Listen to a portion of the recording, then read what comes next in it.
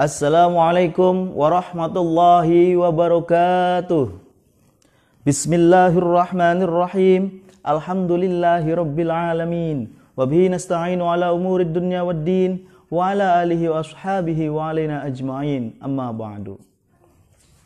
Para pemirsa yang berbahagia, kali ini kita akan membahas tentang bagaimana sih caranya untuk mengeluarkan zakat hewan ternak. Nah, sekarang kita akan e, membahas tentang nisabnya sapi. Ya. Bismillahirrahmanirrahim. Bismillahirrahmanirrahim.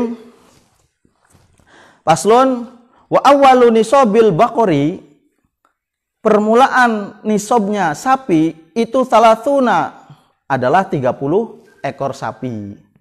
Fatajibu fiha tabiun, maka wajib. Zakat baginya mengeluarkan satu tabi sapi pedet ya kalau bahasa Jawanya. Atau sapi kenapa dikatakan pedet? Karena dia masih mengikuti induknya. Ya sapinya tuh masih melu-melu baik kayak anak bayi lah ya. Jadi dia itu masih mengikuti induknya terus makanya dinamakan tabi atau pedet karena dia masih mengikuti induknya. Nah ya itu Bismillahirrahmanirrahim eh, perlu dihapus dulu ya dihapus dulu supaya nanti uh, ininya nggak terlalu ribet ya. Nah, dihapus dulu. Sekarang sapi ya, bakor, bakorun atau sapi. Nah, sapi itu nisabnya itu adalah 30.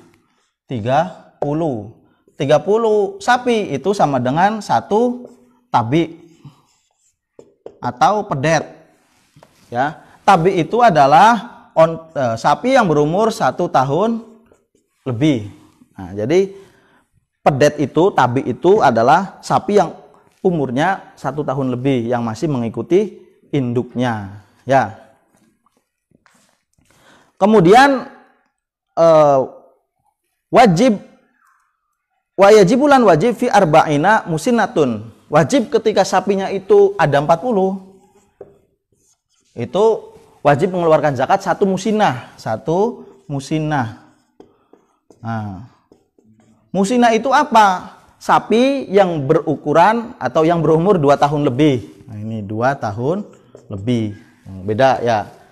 Nah, kenapa dikatakan musinah? Karena dia giginya sudah mulai sempurna ya uh, sapi musinah itu. Jadi kalau pedet itu masih mengikuti induknya, kalau sapi musinah itu giginya itu sudah mulai sempurna, sudah ada semua giginya, gigi sapinya itu. Nah, bagaimana kalau misalnya eh, uh, 40 sapi ini si pemiliknya itu mengeluarkan dua tabi misalnya ya, pak dua tabi, dua sapi pedet ya. Dua sapi yang umur satu tahun lebih.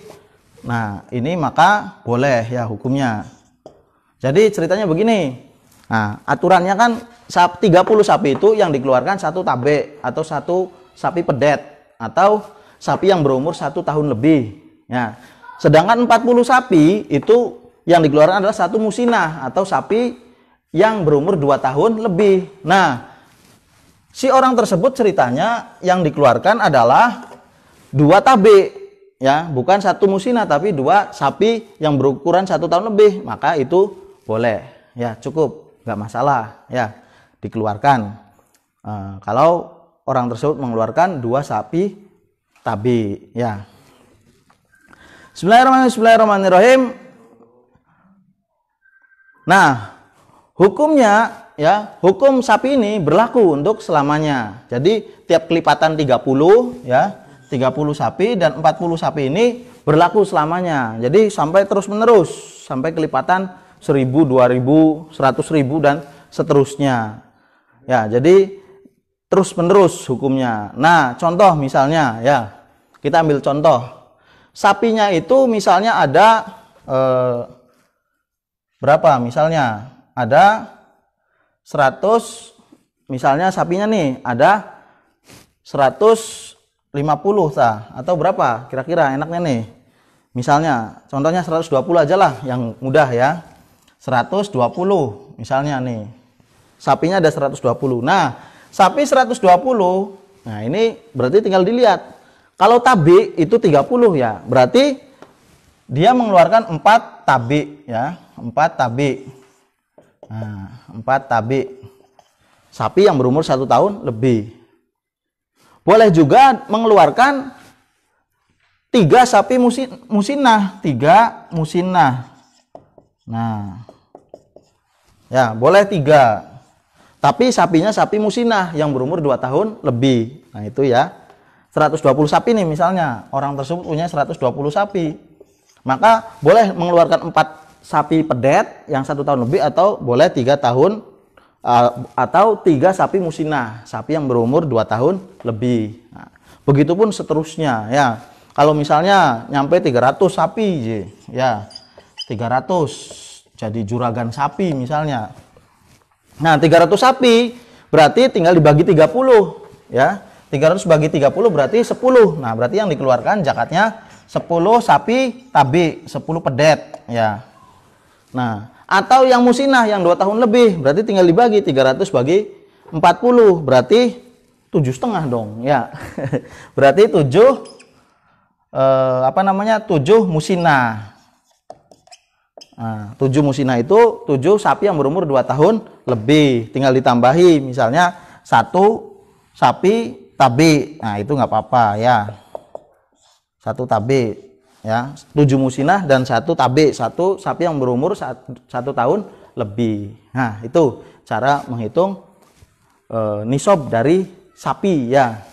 Nah sekarang terakhir ya untuk kambing kambing wedus kalau bahasa Jawanya wedus ya nah Bismillahirrahmanirrahim paslon wa awal nisobil konami permulaan nisobnya kambing itu adalah arbauna wafiha satun.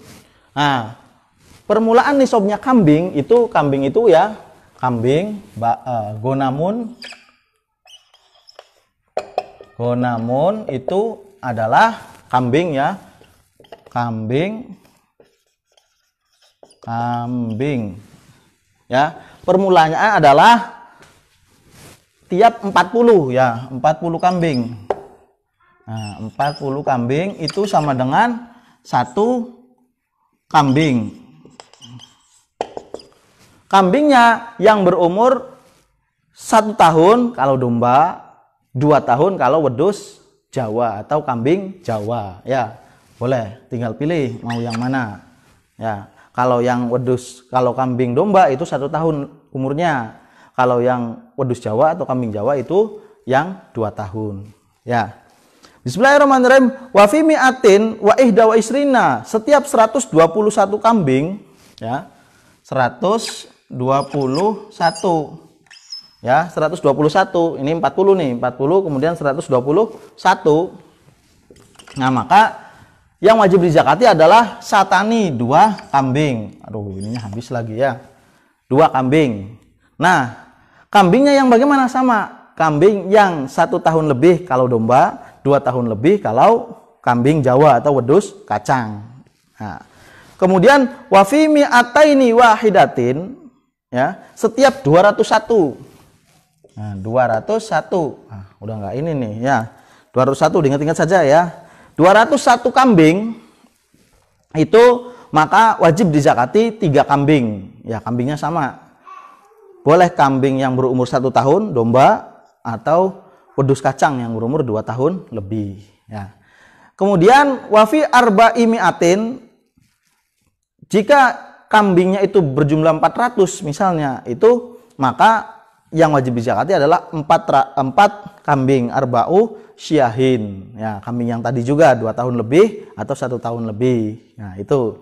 Nah kemudian beda lagi nih kalau kambing. Setiap kelipatan 100 kalau udah di atas 400 nih. Nah maka zakatnya itu adalah satu kambing ya. Jadi dari mulai uh, ini ya 40 kambing macamnya nih. Yang kedua adalah 121 kambing. Yang ketiga adalah 201 kambing. Yang keempat adalah 400 kambing. Nah, yang kelima adalah 500 kambing. Nah, kalau yang 500 kambing ya, itu nanti di atasnya itu kelipatan 100. Berarti kalau 1000 misalnya kambingnya, berarti tinggal dikalikan. Ya, tinggal di, e, dibagi 100 menjadi 10 kambing. Tinggal terus saja. Kalau kambingnya 100 ribu misalnya, waduh banyak banget ya, jadi juragan kambing, juragan embek. Tinggal 100 ribu dibagi 100, berapa ayo? Berarti yang diwajib di Jakarta seribu kambing. Waduh, ya banyak banget seribu kambing. Kalau kambingnya satunya harganya 3 juta, berapa itu? Seribu kali 3 juta. Seribu kali 3 juta. Berarti zakatnya 3 miliar. Mantap. Ya, zakat 3 apa 3 miliar kambing apa 3 miliar ya kalau punya kambing 100 ribu kambing wah ya itu Nah, jadi setiap kelipatan 100 kalau sudah mencapai 400 lebih ya kambing itu, maka zakatnya itu adalah setiap 100 kambing itu satu kambingnya. Itu adalah nisabnya kambing. Nah, di dalam uh, harta ja, apa hasil zakat hasil peternakan ini itu berbeda dengan zakat yang lainnya. Eh, entah itu zakat emas perak atau zakat perniagaan, perdagangan atau zakat buah-buahan itu beda ya cara menghitung nisabnya ya. Khusus untuk ternak ternak ini ada istilah yang namanya wakos ya. Wakos itu adalah eh, apa namanya binatang atau binatang yang berada di antara nisab dengan nisab di atasnya. Contohnya begini, 121 ya. Ini kan ada 121 dengan 201. Misalnya, kita punya kambingnya 150 ya. Nah, ini kan antara 121 dengan 201. Nah, bagaimana nih mengeluarkannya kalau 150 kambingnya? Nah, itu tidak mengaruhi jumlah zakat yang dikeluarkan. Tetap berarti 121 itu adalah dua kambing. Berarti 150 zakatnya adalah dua kambing tetap ya. Jadi batas minimalnya itu kalau dia 121, 22, 123, 124, 150, 160, 170, 199 sampai 200 sekalipun itu zakatnya masih dua kambing. Nah, baru kalau sudah 201 kambing itu baru tiga kambing. Nah, ini ya perbedaannya kalau untuk zakat ternak. Ya, itu. Jadi ukurannya seperti itu. Atau sapi misalnya. Sapinya ini kalau lima itu satu kambing. Nah, kalau sepuluh dua kambing. Nah, bagaimana kalau sapi uh, ontanya itu ada di angka sembilan, punyanya cuma sembilan. Nah, maka yang dikeluarkan satu kambing, bukan dua kambing. Kenapa? Karena tadi ya ada istilah uh, wakos ya, jarak itu ya antara jarak yang satu, nisab yang satu dengan nisab yang di atasnya. Itu cara menghitung uh, zakat hewan ternak. Ya.